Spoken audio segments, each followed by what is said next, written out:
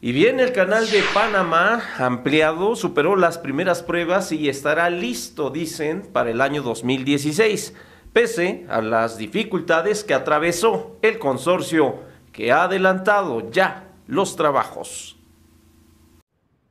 Tras superar las primeras pruebas, se prevé que el nuevo canal de Panamá ampliado esté listo para 2016.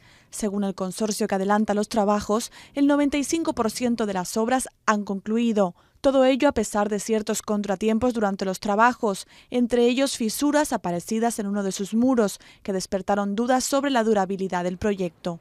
Ahora las pruebas continuarán al menos por tres meses antes de empezar las prácticas con barcos, de cara a inaugurar finalmente la ruta en abril de 2016, un año y medio después más tarde de lo originalmente previsto.